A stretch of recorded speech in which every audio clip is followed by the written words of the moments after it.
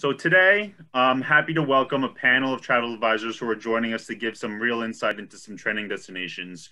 We know that 2020 has been a tough year for the entire industry, but with some positive vac vaccine news recently and a lot of pent-up demand that be, that's becoming increasingly impossible to ignore, we wanted to give our audience access to advisors who have experienced things firsthand and can give us information on how the destinations are trending. So I'm very, very happy to welcome Christen Perry, the founder of Classic Travel Connections, who was also a previous guest on this series. Uh, Connie Marshall, the manager of tour relations at AAA Travel Services.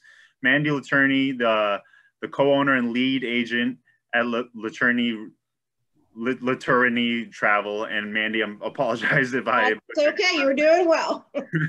and uh, Adam Martindale, the owner and founder of Martindale Travel and Tours, a cruise planners agency. So I want to say welcome uh, so much to you four for lending us your time today. I know we're going to have a great conversation. Um, and I wanted, so I wanted to start out by giving you each a, a, chance to talk to me about your recent experiences. Each of you are here to talk about vastly dis- different destinations. I'm going to do my best to balance your time and take questions we have from the guests. But first, I want to go around and let each of you give an introduction to your destination. And I want to start with Adam. Um, Adam's here to talk about Mexico, which has been a big destination. And I know it, that's also been hit from COVID, but it's been one of the ones that have been constantly mentioned as winners who, or ones that have fared better during COVID. And I want to give Adam sort of a couple minutes to tell us about your recent experience there and uh, and what you saw while you were while you were traveling. Okay, great. Yeah, so I actually uh, went to Puerto Vallarta twice. I've been down there in August. Went down there for my birthday the first time, and then I also went down there again last month. Uh, so I've actually uh, experienced the destination a couple of different times over the pandemic. Uh, in August, I stayed at three different properties. And last month, I stayed at six different properties, uh, three nights in each property to check them out. I, I took this as an opportunity because I do mostly cruises uh, before. So I took this as an opportunity to experience some land destinations and resorts to get myself more aware of, of the resorts I'm recommending to my clients and also to experience them, you know, what's happening down there uh, as far as the pandemic. So as far as what Mexico is doing, when I flew into Puerto Vallarta the first time in August, I was very impressed. I flew on Alaska. I live in San Diego, so it's a really easy flight. It's two hours, 20 minutes direct on Alaska.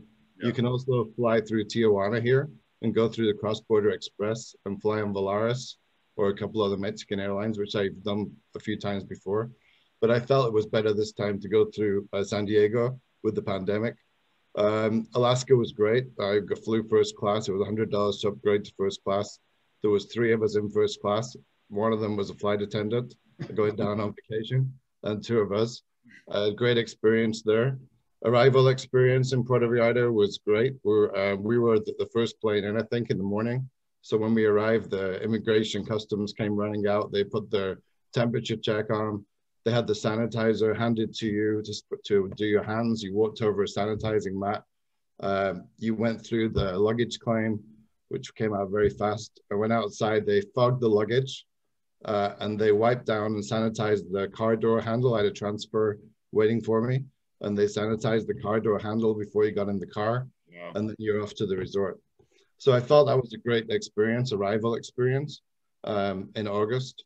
Uh, we got to the resort. Uh, the first one we stayed at was the Grand Velas uh, Resort, which was a beautiful experience there. Again, the arrival experience, similar thing, uh, sanitizing, uh, temperature check, walk over a sanitizing mat. Everybody at the resort uh, was wearing masks, face shield. Obviously, masks were required through all the experience that I had before that. I didn't mention that before. but at all the resorts we stayed at was I could talk for quite a long time, so you have to cut me off.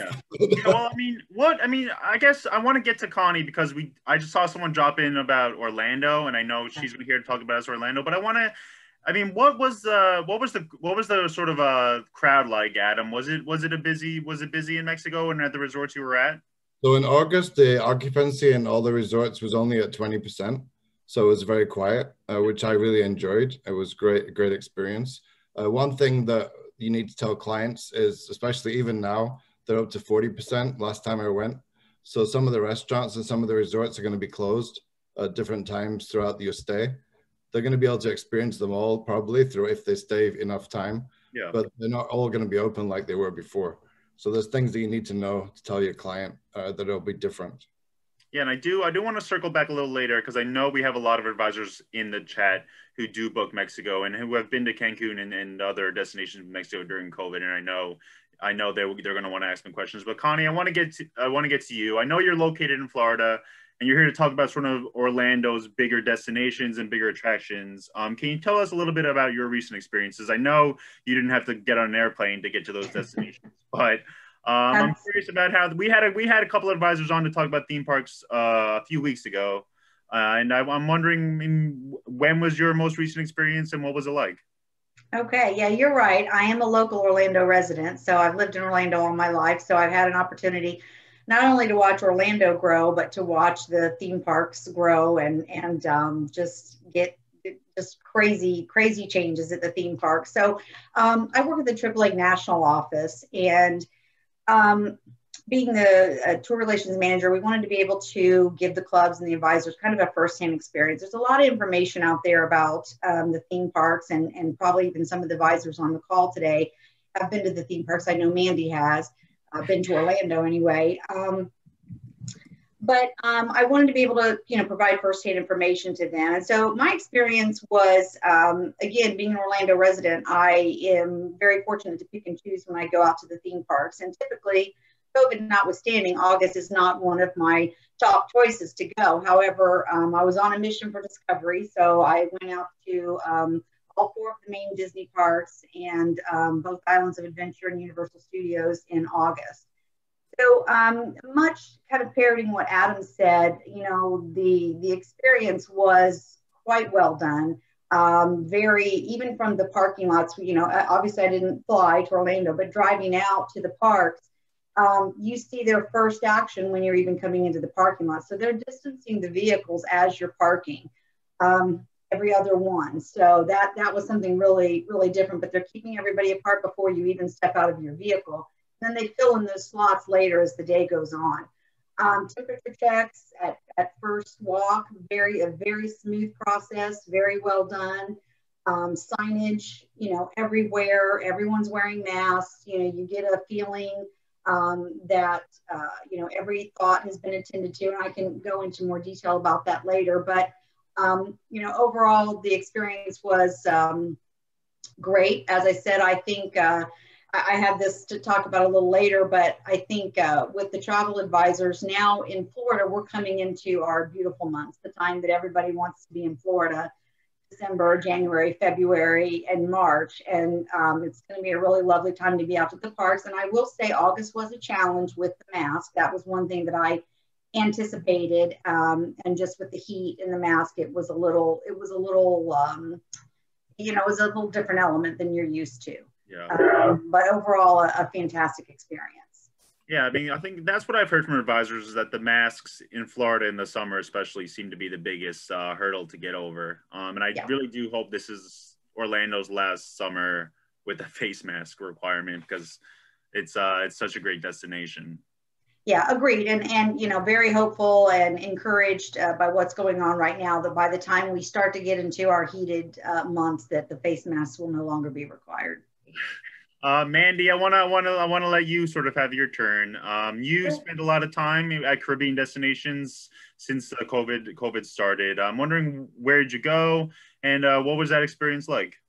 Sure. So where I headed was Jamaica. I actually was at Jamaica twice. I've done a ton of traveling during the pandemic. Um, Central Florida seven times, Mexico a few times.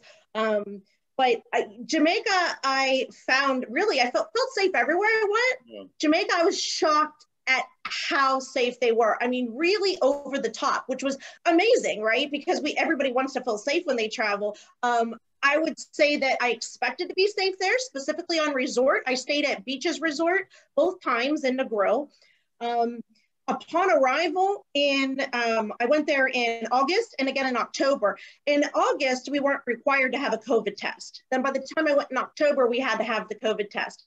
But both times were identical in the sense that upon arrival, you went through a health screening. Um, that does add some time to your um, initial arrival. Uh, we did get Club Mo Bay the second time. The first time we did not. It only saved our wait time by about 20 minutes. So a lot of people have been asking if Club Mo Bay is worth it during the pandemic. I would say yes, but not by much. I think it really depends on the timing of those aircraft, and of course, you know, what day of the week it is. But we, I, I, would say tack on just to be safe an extra hour to your experience in the airport just to get through that screening. Um, we did sanitize a total, and I counted, I didn't count the first time, but the second trip I counted, we had to sanitize from the time we stepped off the flight, um, which I flew on American Airlines, all, all the legs of the trip, um, 13 times uh, between landing in um, uh, Montego Bay and get, arriving at the resort in Negril. And so I really, you know, between the health screenings, the extra sanitizing, which has stepped up from even the United States. When you're, when I traveled through Charlotte and through, you know, um, Philadelphia, yes, I felt safe in general, but really at Montego Bay, they make you sanitize before you even enter the airport. Um, so it's just that extra level of protection. And then when on resort, same thing. We actually uh, a little bit we made the comment, my family and I, that coming back to the USA, we'd have to actually get out of our safe zone because we felt so safe on resort compared to anywhere at home because of all the extra safeguards and protocols that were in place. So um, that is something that I would definitely uh, advise uh, travel advisors to share with their clients that, you know, if they have any reservations whatsoever, I would argue that uh, you would feel safer on resort, on island. Um, there's the natural social distancing built in too, being on an island like Jamaica. You know, you're on the beach, you're spread apart. So there's that factor too. And we didn't find at all, whether it be, you know, a little bit of extra time in the airport and of course the face masks, but once you arrive on resort, our experience was really the same. I think that no matter what destination that our clients travel to, that's a major concern is if their experience is the same. And I can honestly tell you our experience was the same, if not better, because it was that step up in cleaning. The crowds were a little bit less. So we actually had a better experience than we ever have in the past traveling to Jamaica. Yeah, I mean, that, I think there's, I think every supplier right now has to be struggling with uh, a balance of, uh, of, of sort of intrusive procedures, but, uh, but also all these cleaning procedures and, and protocols that are keeping people safe. And hopefully, I think inspiring consumer confidence, which I, is, should be the ultimate goal, uh, keeping people safe and inspiring consumer confidence. Um, so, Christen, I want to let you have the floor for, for a couple minutes. Um, I can see the sunshine behind you. So I know you're remote right now, uh, and I know you spent some time in Africa during COVID too. Um, I mean, tell us about. I think first, tell us about sort of your experience uh, on safari, and then tell us about you know where you are right now. Absolutely. So, like Mandy, um, starting in about May, I began to feel a little more comfortable to travel and um, traveled a couple of times to see my children who live all over the country.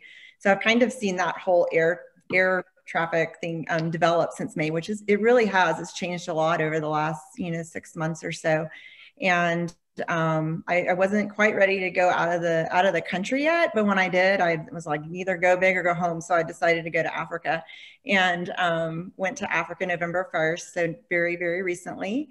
And um, we were in Africa for 14 days, and I just had the opportunity to join Live Life Safaris um, on a FAM for um, travel advisors. There were 10 of us. And um, it was one of those things that was what I call an easy yes. I, I just it was the time and I knew that I, I wasn't going to think about it. I just decided, yes, I'm going to go and I'm going to give it, um, give it my best shot. And um, it was life changing one of the most amazing experiences that I've that I've ever had, and I am so grateful that I was able to to have that opportunity. And um, we went to Kenya, so we were in Kenya for you know outside of travel days, we were in Kenya, I believe, for eleven or twelve nights, and um, just again going back to what each one of you guys have said, Mandy, Adam, and, and Connie. Um, the travel, the air air traffic travel was just so easy. Um, we had for Kenya, we had to have a a COVID test 96 hours prior to arrival. So your COVID test had to be taken and received back between um, within 96 hours. So that sometimes can be a little bit um, difficult, I guess, um, but some, and something to be very aware of. But we did have, like I said, 10 advisors from all over the country who we did our COVID tests different ways. Some did it through CVS, some did it through the health department, some did it, you know, through other ways. And each one of us got in no problem, got got those taken and, and back and all arrived um, on time and, and no issues at all. And so um, it was it was actually my first COVID test um, and the, the, this whole time, so it was a little bit of an experience there. Um, but um, when we got as far as the air traffic, no problem. Um, everyone with this the plane felt so safe, and I, am a Delta girl, so flew Delta and KLM, and I will tell you, KLM was a little um, a little better than Delta as far as the service and how clean I felt and and healthy and safe and etc. Um, but um, I, am like you, Mandy. Like you know, you get you get to somewhere like Africa, you're outside all the time. We, you're even in, in your transfers. They're open air transfers, jeeps, and um, every restaurant is outside. It was just. It felt like um, it was just. It was comfortable. I never felt. Un, I never felt unsafe. I never felt uncomfortable and like i said it was it was it was an amazing experience. Now that being said they were very very on top of the of the covid protocols as well.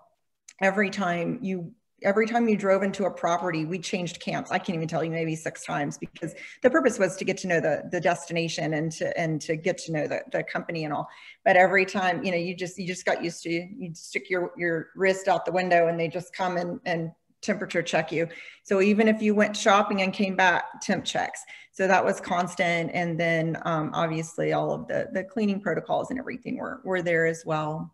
And, um, and I can answer any questions uh, about that experience. We were all over the, the Masai Mara, all over Kenya. It was. Hey, uh, hey, Christen, we actually have a question about Kenya that came in the chat. Uh, Beth wants to know about COVID tests required for Kenya because she's a group going in January. Um, are they allowed to do the rapid tests or is there a different test? It was a PCR test. Um, it has to be PCR. So um, yes, and that's that's all I know. It, ha- it has to be a PCR test. We have a great. I'm from Alabama and and from Birmingham, and I've got a, a lab down the street from us that can turn them around in less than 24 hours. Wow. So it's I, I have an advantage that a lot of people don't have. Um, but um, but yes, it is a test.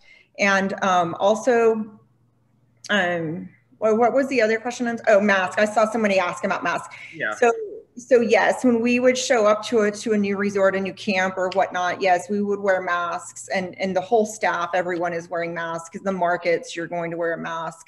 Um, so now we were with the same 10 people all the time. And so when we were all together, just us and as far as transfers and um, in in restaurants and things like that, and no, we did not wear a mask. Yeah, and I, I think I mean that's it's it's good to hear each of you talk about your experience and talking about I mean you guys are all very seasoned travelers, so obviously you have a level of comfort comfortability that maybe uh, new travelers won't have. But it is nice to hear how safe you all felt, um, and I think that's good for advisors to know going forward too. Um, and I wanna I wanna ask about NESC about sort of uh, objections from clients who who you've had conversations with. I mean, have any? I guess we'll start with Adam. Um, Adam, have you heard when you're talking to your clients now? Um, are they are any of them particularly worried about any kind of protocol or procedure um, when traveling, or are they are they shy to book right now because because of COVID or because of say that they they'll be forced to wear a mask on an airplane or they'll be forced to take a PCR test before they go or any of those objections more common than others? Well, with Mexico in particular, I have two families going at the end of December and uh, they're going down to Cancun and one of them become I just became a little worried and they're sending asking me a lot of questions about the protocols and what the resort's doing and what happens if you get sick and all that type of stuff. So I'm able to send them all that information, which is great because all the hotels, one of them is the Iberostar that I actually stayed at in Puerto Vallarta. But if you go on their website, they actually have all that information on their websites now. And every major hotel chain has that information, uh, what they're doing uh, for COVID, what they're doing if somebody gets sick, the isolation rooms that are available, all that stuff. And I sell Allianz Insurance and I make sure they have that because they're covering COVID as well. So they felt a lot more comfortable after they got all that information. And also when I explained the situation about what Mandy mentioned, when you come back to the US, they do absolutely nothing as far as temperature check, sanitizing, don't even ask where you've been from Mexico, which is unbelievable to me. Uh, people can't believe that all the precautions that they do when you go down there. and they don't do nothing when you come back. So when you explain a lot of those things, they do feel more comfortable. And having have first-hand knowledge of it, it makes a lot of difference. Yeah, and that's what we, have heard that throughout the series that the, the people who do have firsthand knowledge. I know we've had a couple of advisors who have been to Mexico and they uh, they they do very well posting their experience on their Facebook or sending in an email to clients in a newsletter, and uh, I think that does make a big difference. Yeah, um, I, booked, I booked three trips while I was down there for people to go to Mexico, two for December, which was awesome. Oh wow! And and that and is that from is that just from sharing your own experience yep. down there? Yeah.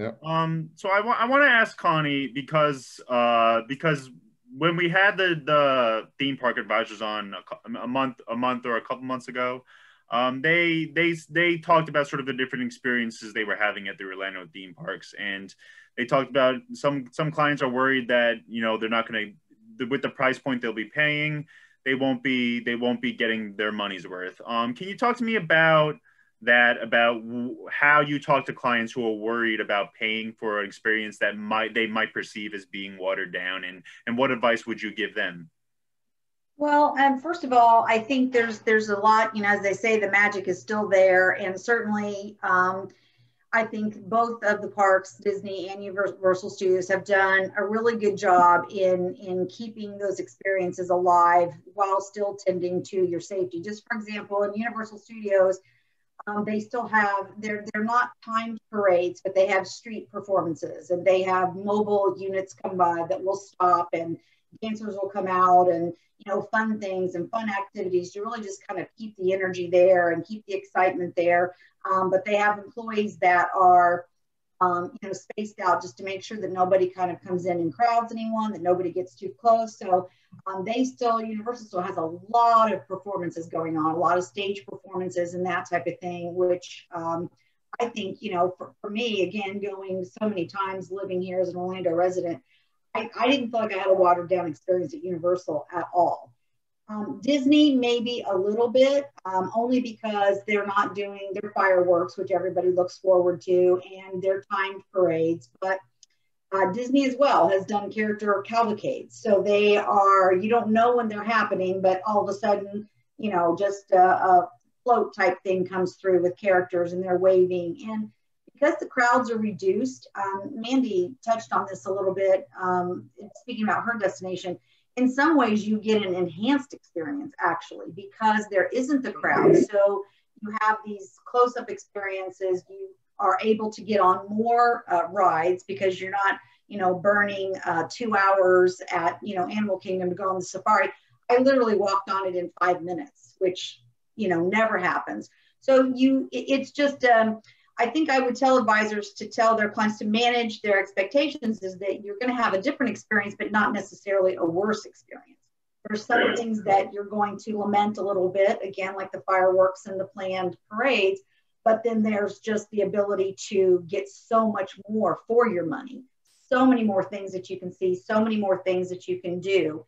And um, I just think that they they go to great lengths to make sure that you know you still have a fabulous experience. But one thing I do want to mention, and this is not a negative, again, this is just part of what I would say to advisors on the call when they're talking to their clients is just to, um, again, I call it managing expectations. So, uh, one of the things that's different um, in the Magic Kingdom in particular is that um, food is not as readily available. That's not to say that you can't get food. It just means that some of the restaurants in the parks are closed, um, just like I think Adam mentioned at destination. So you just have to be prepared for that. You know, a lot of um, diehard Disney fans and even Universal Studio fans have their favorite things to do in particular parks.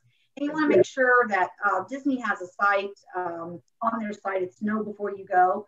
And I think as long as you're prepared, and, and I'll just give you a little kind of silly example. Um, my daughter and I love Casey's Corner in the Magic Kingdom. There's those mini corn dogs. Don't ask me why we absolutely love them, but we absolutely love them. So it's the first thing we want to do when we go to Magic Kingdom. So when I arrived at Magic Kingdom, that's the first thing I wanted to do. And I kind of stood there with the wah wah face because Casey's Corner was closed. So in the big scheme of things, not a big deal. But again, um, you just want to know ahead of time that you know some things that you're used to might not be available. But again, the selling point is an enhanced experience, I think, is there because of crowd reduction, things that you wouldn't have been able to do before. Yeah, and I think that's I mean, I think that's important to know. And I think that's also why a lot of people should be your advisors now is because advisors are the ones who know about uh, not only the requirements, but also what kind of experience you're going to get, especially you three, you four who uh, who have been who have had those experiences firsthand. And Mandy, I know you I know you book a lot of uh, Orlando too. Um, is there anything you want to add to, to what Connie said? I want to honestly, I want to agree with Connie 100% that um, when, when you asked her the question about experience, that is what we have been telling all of our clients that that it's just in some cases, not even in all cases, but in some cases, it might be a different experience. But I, especially for you know, as an avid Disney goer, um, although I'm not like Connie that I live in Central Florida, I am in, in Pittsburgh, Pennsylvania. I'm down in Disney and Universal usually about 10 times a year at least. And I would say it's probably been the best year that I can remember. And that's, if you would have asked me that in April, I wouldn't have believed it. Um, but looking back on this year, my experiences in the theme parks as well as the Caribbean have been enhanced. Um, again with the the parades i actually never liked the parades. I thought that there was too many people. My kids great. couldn't see the new cavalcades that are there. It's great. It's always a surprise every time.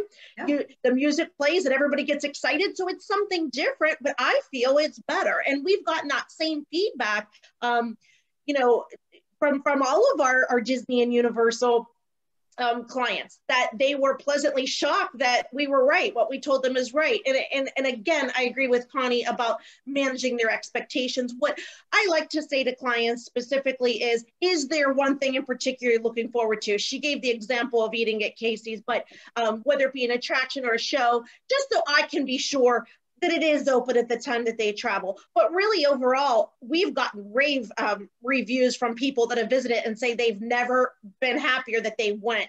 And again, the low crowds, you know, people are, um, that's a concern that we have that people are going to get a watered down experience. I think you get more for your money. I really do, because I feel like you do more in a day um, and you're able to finish those days earlier. Uh, going to the Caribbean, besides having to take that PCR COVID test in many cases, that experience has been identical as well. Um, you're wearing a mask whenever you're in a position, for example, on the shuttles where you can't social distance. Um, they're not packed by any means. They're very spread out in your social distance. That would be really the only case we wore a mask because when you're on resort and you're at the beach in the pool, again, you're naturally in an area where you're social distance. So people love um, the people that I saw on property. And again, to Jamaica alone, um, I've said 52 couples or families just this year, and we have over 150 on the books for next year already, just for Jamaica. And I think that us being there has been huge because clients have gotten to to Canada, you know, it's not Canadians just free to travel reading experience, but it's actually you know um, getting to experience that, our clients see we experience that. And by them having those expectations, it gets them excited, it makes them feel confident. So I would tell advisors to, if you can, get on property as much as you can, not only to experience it, but so your clients can see that. Yeah, I mean, I, I completely agree. I mean, we have a comment about, it's a long comment, but it's about St. Lucia and, Dominic, and Dominica and how luggage was fogged. And every time we got into the vehicle, the vehicle gave us hand sanitizer. I mean, I'm in New York, and I mean, one thing we heard here was that the subways were getting cleaned, and I mean, it raised the question of were they ever getting cleaned before? Like, it, the world is cleaner and more sanitized than it's ever been, which I think should inspire a lot of consumer confidence um, and and, and uh, cut a lot of worries. Um, Christen, I know you had a long haul to Africa. Um, you told me early in the week that you you trans you transferred through through Europe, through Amsterdam. Um, and there was a lot of documentation that you had prepared beforehand. Can you talk to us about that and how you would prepare your clients to be prepared for a long haul if, if they want to have the same experience that you had? Yeah, absolutely. And, and I'm sure most of you guys are so aware that eh, the protocols can change in a second. I mean, sometimes they change day to day and you and you don't know know quite what to expect. And it's so important to be on top of those and to know what each country is doing, especially if you have someone traveling to that country. But we were very well prepared and we had a very little time to do it in just because the fam was um, it was a last minute um, a last minute opportunity and but we had to get a visa and we were able to turn that around within a few days but it's really important to know all of the things that you need to get that visa. So I had actually had to go to, to Walgreens and get a new passport photo because I had to upload that. Um, they would, they didn't like my current one. And um, so there, it did, it took a little bit of a, it was a little bit of a work to, you know, to get it done, but we, then we had to complete information online to get through to transit through Amsterdam. And so, and I printed that out for for the um, departure and the you know going back and forth both legs of that. And um, i mean there were just several several different things that we had to do. I felt like i took a book with me um, along with my passport because i had printed out so much of the paperwork and pre-prepared it and everything. Um, took you know shot records just in case they asked that type thing. Um, however got to amsterdam. They didn't ask for a thing. We had to go through a whole separate little area and do it all over again right in front of them. So it, it I, I think it's more important to be overly prepared than to get there and not have a clue what you need. Um, but I did see several people turned away because they did not have their COVID test printed out. So I think it's so important. And it doesn't matter where you're going. I would say 100% have your clients print that out if there's a COVID test requirement, because sometimes they're going to take it from your phone and sometimes they're not. And, and we even found in our group of 10, we had different experiences coming through. Um, some some airlines were were different than the others, and so I think it's just very important. Just tell them to print it out every time and be safe, so that no one is surprised when they get to to the airport, and and you don't want anyone to be turned away, obviously. Um, but yeah, going through Amsterdam was was I was a little concerned about that, just because I've been through Amsterdam several times, and it's always it's always a, a little bit of a uh, you know, it can be a little bit chaotic and can take some time to go through that transit time. But um, it was super easy. They've changed their process. So now you don't stand in the queue line for an hour and a half to, you know, to go from one gate to the other. Um, they do, they do the transit part, like right either when you get off the plane or before you get onto your next one. So it was a very, a very great experience. The, the KLM lounge was as wonderful as ever. Um, great, everything was provided, great food, great, you know, drinks, coffee, all of those things. So I, I felt, I felt really good about being in Amsterdam, other than the fact it was a little sad because it was a little emptier than the normal. But to be quite honest, it was, it was more busy than I thought it would be than I expected. So I was glad to see that as well. Yeah, and I think the the thing the takeaway is that I mean being over prepared is way better than being underprepared. I mean you don't want to get on a connection to Amsterdam and realize that you're not going to get, they're not going to let you have transit through. Correct. Yeah, that would be a mess. That would be a mess. Um, but no, it was a great experience. Um, easy and like I said, over prepared is best. Um, we have a question from Miriam and uh, Mandy. I want to let you answer it uh, quickly if you can. I mean, she's sure. asking with COVID restrictions in mind, do you have a do you have a top three Caribbean destination recommended recommendations that you would give to your client? So based on COVID restrictions, I would say that they that all of the islands that that uh, we work with in the Caribbean, which are a lot of them, um, are similar in the sense that there are restrictions. So you know, just some simple advice to make sure you're checking those those tourist board websites on a regular basis and and staying up to date with what those requirements are. But I would say that uh, the top three we've been sending clients to are Jamaica, St. Lucia, and Grenada. Uh, we haven't had any issues, any client complaints to those destinations. Um, everybody has felt safe. Their experience has been the same. And again, although there are requirements such as COVID tests, the process has been been smooth, and we we haven't had anybody with any issues. So I would say those top um, would be my top three choices. Yeah, and just going off of what Christen said, um, what would you rec? I mean, when you're sending a client to Jamaica, if, if you were sending them in January or February, I mean, what how would you make sure they were prepared before they went in terms of documentation? What I mean, what would you make sure they would have on hand when they're traveling through an airport? So the first thing that I do is uh, myself is I make sure I check whatever the current guidelines are to make sure I'm educated and up to date with those because they can change very frequently. Obviously, what could be the case last month is not the case in January. So that's the first thing. And then obviously check them frequently. I also then communicate those things via phone or in person to the client, usually on the phone. Um, and then I also advise uh, the, the client to, on their own, make sure that they are reading any uh, requirements for that country. So not only things that I am sending through emails or through paperwork, but also directing them to those tourist board websites and also the resort websites that they're visiting and advise them to do it on a regular basis. Before they travel as well, I'm making sure I almost do a checklist with them. Again, I do it multiple ways. I do it via email, on the phone, and then I I ask those you know say to them sometimes even facebook along the way if they're connected through social media facebook or instagram i'm saying you know if i know that they're leaving for the airport that morning do you have your passport? Do you have your tra travel authorizations printed out? Um, do you have those negative covid tests? Just as many layers of protection as i can to give them um, to make sure that they're covered. Yeah can i begin on that for a second? Go ahead I think uh, exactly what Mandy's saying. It's it's super important. We've instituted in our agency um, a, a procedure where people, our clients, before they leave, they have to actually check, check. I read the, I've read this, I've read that, and I've read this. Sign their name and submit. And that way we make now whether they read it or not and we found that they don't read it actually but they said that they did and we know that we provided the information to them and um, it, it, really covers really covers yourself covers your advisors if you're an agency owner and it, and it, and it covers the clients as well. So i think it's very important that they know or that they're aware um, in not just one way you're right mandy lots of lots of ways over the phone through a consultation pre-travel as well as email where they sign that they read it. Um, and, and again, make them be responsible. I mean, even with you know with Orlando destinations, like Connie was speaking of, there there could be requirements, you know, for for theme park admission, etc.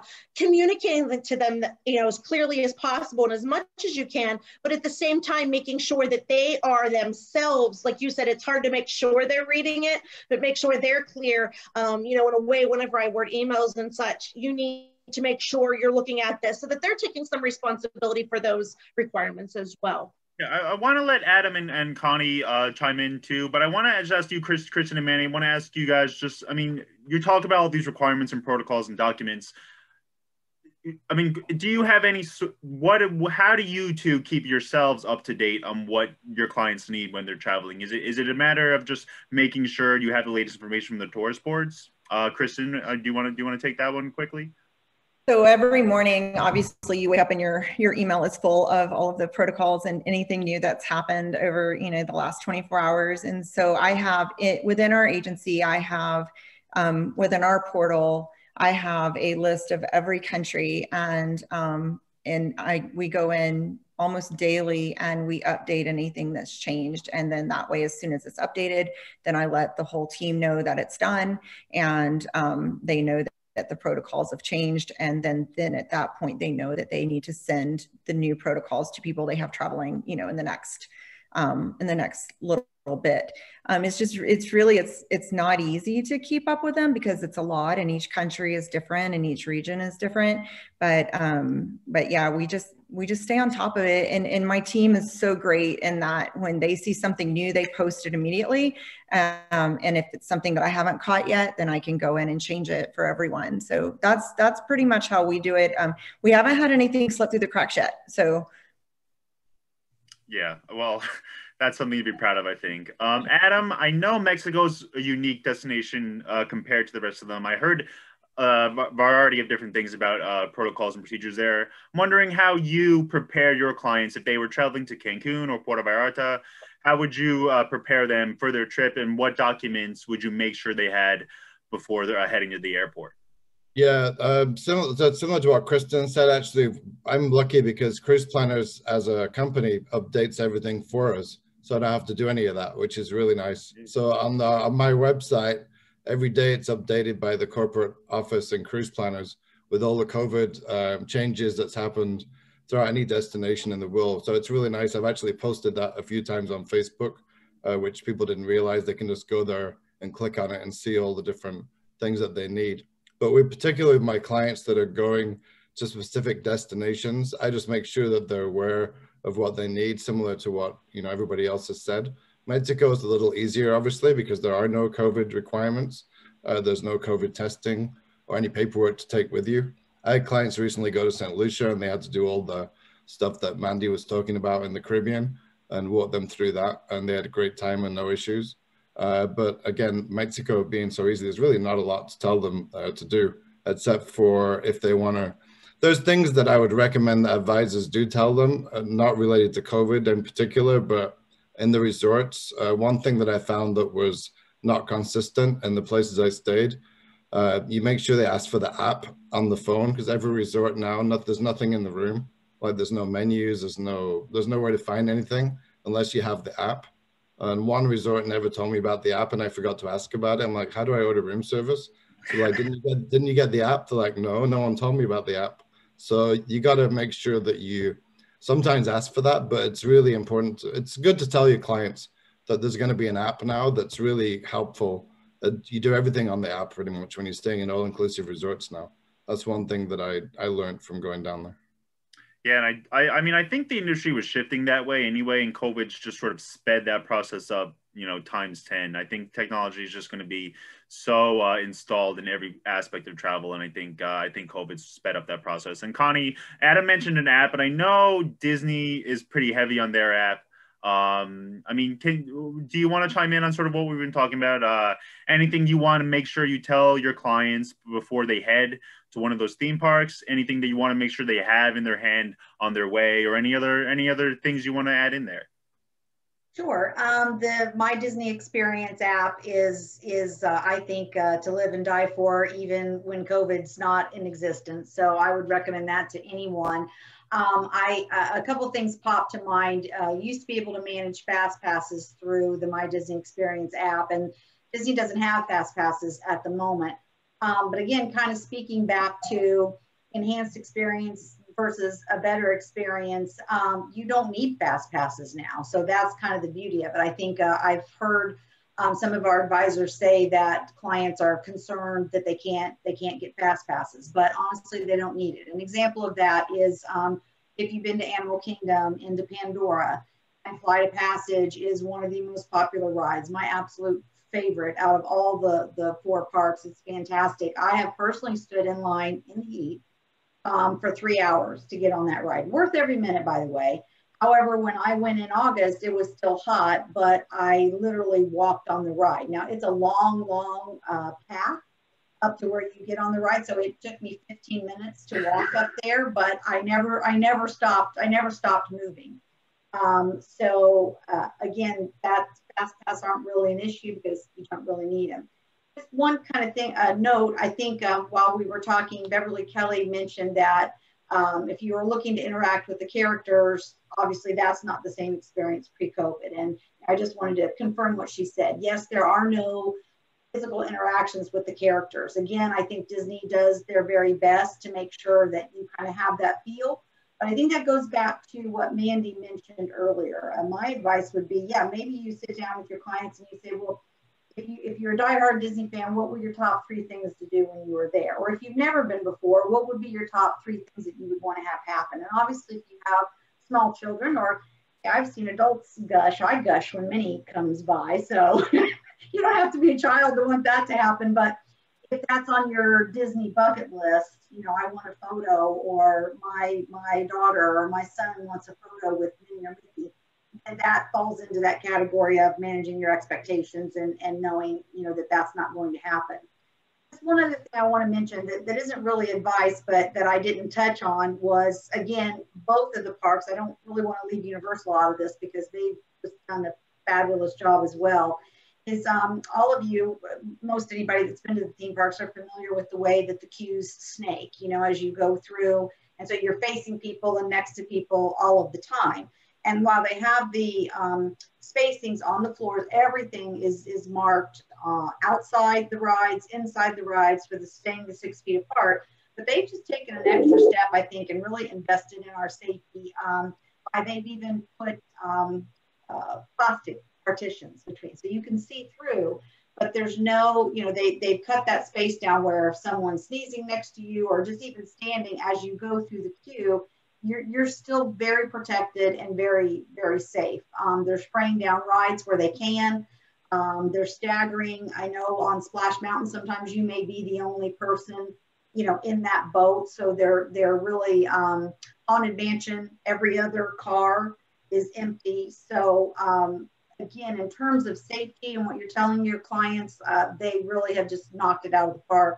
Both of them have. Um, and then, um, you know, the last thing I would say again is I just think that this is really a fabulous time of year to come to Orlando, and this is where masks won't be an issue. And uh, from my perspective, um, I would take great advantage of the, the reduced crowds and the nice cool weather, and it's a great time to come visit the theme parks.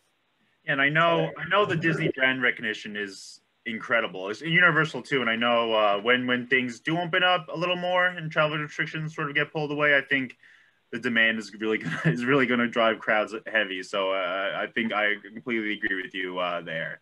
Um, so we have about five or six minutes left. Um, any questions, please drop them in the chat. I, I, can add them in before we wrap up here today. I do want to also mention that uh, we do have a resource tab on Travel Market Report on the training tab. If you guys are looking for any other uh, resources to, to, to for uh, links to tourist boards websites, stuff like that, you can head there. Um, and I, I do, I, I want to go to Christen now because um, I know how big of a trip a trip to Kenya and a safari is. And something you mentioned to me earlier in the earlier in the week is that one of the advisors who was on the fam with you came home and booked, uh, had a big booking to Africa that leaves very quickly. Uh, I wonder, wondering if you could tell us about that. I can, and when I want to lead into that by saying um, something similar to Connie. If you're comfortable and, and and confident in getting out there and experiencing, now is the time because um, you know, talking about watered down experiences versus um, enhanced experiences, I think you can really put a twist on that for your clients who are like, well, it's not going to be that great of experience because of this. I mean, you really can can make that a pro instead of a con if you if you know your if you know your destination and you learn your destination and know everything you know about it you can learn about it um, first of all when we were there normally in the Masai Mara, when you pulled up to a site where there was a leopard or a lion or, you know, one of the big five, you would be pulling up to, you know, 20 or 30 Jeeps. And when we would pull up, there were maybe like two or three. And so we were able to really, really experience those animals up close and personal. And um, it, it, was super, super special. I mean, like to have a lion from me to that window right there was, you know, so crazy and, and amazing. Um, so I would say, um, think about those destinations that are open air, that are, that are nor naturally, um, socially distancing, you know, and, and really get to know those because I think that's going to be, um, what the wave of the future is, what in what clients are going to be comfortable with, and which is what I'm I'm doing here in Guatemala. I'm actually like that's Lake Atitlan right behind me, and it's beautiful. We are naturally socially distanced, and all these little villages around here are doing the same thing. Like you're talking about the QR codes, um, I mean it's everywhere. Um, so things are changing everywhere. Um, but as far as um, my friend, just encouraging guys to get out there and out and and experiencing what you can and what you're comfortable comfortable with. Um, my friend that was my roommate on the on the safari, she um, she had never really disconnected from from our job and which i know many of you don't. You feel like you do it 24 7 and she was really apprehensive to go and, and she was back and forth back and forth. And she decided to go and um, just decided to disconnect and make the most of it she made some decisions about her business while she was there and just took some time to focus and one of them was to focus on social media and literally within three days after she got home, she saw somebody in her town that said, I'm going to Giraffe Manor in, in Kenya and we're going to donate $10,000 to a local charity and so excited. And, you know, and she assumed this guy's already going. He has a travel advisor. This, this vacation, the safari is planned but she and she took the chance and she reached out anyway and, and we, we giraffe manor was one of our first stops and she said make sure to give lily the giraffe lots of kisses and make sure and stay away from Kelly because Kelly just had a baby. And if you turn your back on her, she'll bite you in the head. And so that was just basically what she posted on Instagram. Well, that turned into a conversation that I was just there. I just returned home and literally, we just got back on November um, the 14th. She has 12 clients leaving on December 6th, this weekend, to the tune of $280,000 for the entire um, safari. So, I mean, the experience that she had and what she invested in the experience, both time and money, has been returned to her more than time full, uh, more than five five times fold. So I just think, um, you know, sometimes the other side of yes is is a really a really great place to live, and and I'm so proud of her and and how that worked out for her. But um, that's what I would encourage you guys to do: take the chance, go for it, and um, have the experiences now when they're when they're when they are a little bit different, and you just never know what's going to come from that. Yeah, I, exactly what Adam said earlier too. Uh, I mean, your travels can, can lead to business, and I think that's one of the great things about this industry. Um, is because everybody loves to travel, and uh, helping your business out while you do it is isn't the worst thing to happen. Um, Adam, we have a couple questions. I know because you're talking about Mexico, you might have a uh, you might have some insight to these. Um, we have a couple questions about the new CDC warning to Mexico and how is that impacting your clients, or is that something your clients want to know about, or you're addressing it at all to your clients? Um, can you speak about that? Um, if the CDC warning is having any impact? Yeah, there's a couple of people that have. I mean, I think it came out three days ago. Um, it was all over the news, and um, I, I have the same family that actually is going in December. Asked me about it, and basically, I just said what I've said already. You know, it's all about your how you feel, what the precautions you're going to take, how safe you feel yourself, what your risk assessment is, uh, and your what you you know how you protect yourself. Basically, um, I told him about my experience and how safe I felt, and it's interesting. And there are different things you can tell people too, in especially Puerto Vallarta. When you people think about Puerto Vallarta, they don't realize there's two different states there. So Jalisco and Riviera Nayarit are two different states, and they each have different levels of COVID right now. So it's interesting to know that to tell clients if they want to go to Riviera Nayarit, which is where Nuevo Vallarta is, they're actually on a lower uh, COVID numbers than the state of Jalisco, which is Puerto Vallarta itself. So there are different things you can tell them to make them feel more comfortable there. As far as Cancun, I'm not sure if there are different things there, but I know from being in Puerto Vallarta that there are different rules in different states, and some states have higher levels of COVID than others. So if you want to go to a safer destination, there are some different options.